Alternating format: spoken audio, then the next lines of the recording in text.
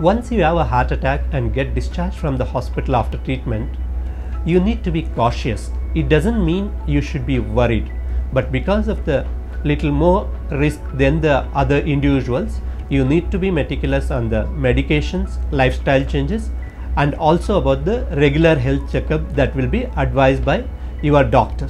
so that in case any problem is coming before the heart attack occurs, it can be treated.